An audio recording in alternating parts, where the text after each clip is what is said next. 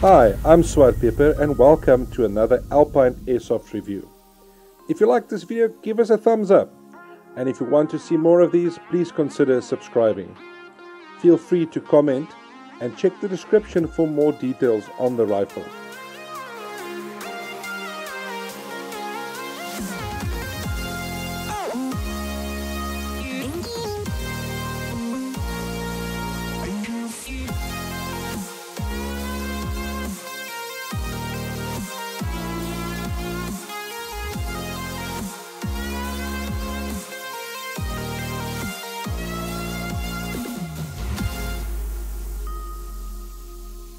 What stood out for me was how it feels when you shoulder this rifle. A sense of control and power. It just fits like a glove. Very ergonomic and very solid feeling.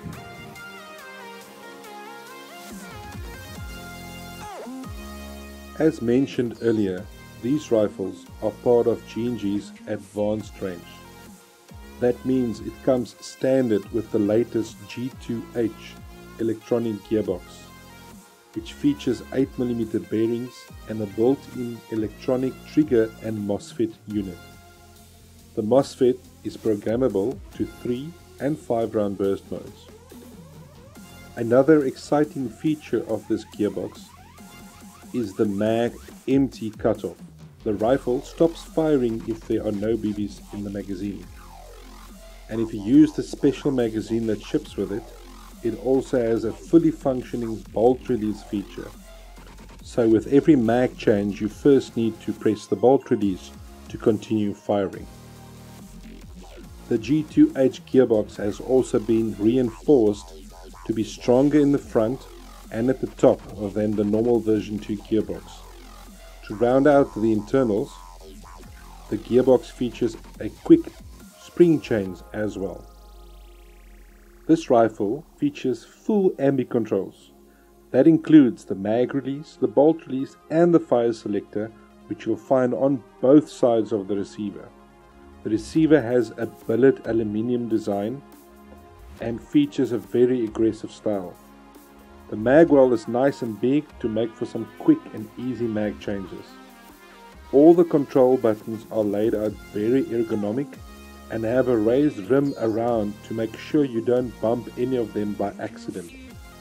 The pistol grip is nicely shaped and very comfortable to hold. It comes with an adjustable stock that is very easy to use. It's got space for nickel metal hydride batteries as well as smaller lipos. At the bottom is a small storage compartment to store small items like a fuse or even a AA battery. It comes with a very nice 40 round mid-cap magazine that works with the bolt release feature of the rifle. On the front end, there's some decent real estate in the rail department, sporting a metal KeyMod rail with a very sturdy flip-up sight in the front and at the back of the rifle. To round off the front end, you'll find a low-key muzzle brake tucked away in the front of the rail. These rifles are superbly made and assembled. As part of G&G's advanced range, that is to be expected. The metal billet receiver is solid and the metal KeyMod rail brings a very good balance to the rifle. Overall, I would give it a 10 out of 10 for build quality.